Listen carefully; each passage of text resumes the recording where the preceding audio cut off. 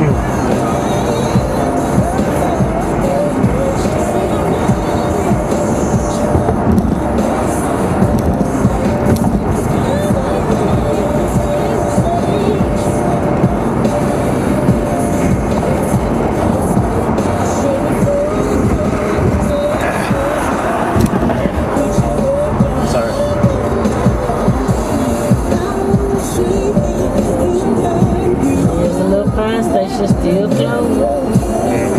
I thought they was supposed to be voting on that. I never hear what Yeah, she's gonna turn it because she couldn't turn it in the street because it's a one-way street. Lincoln.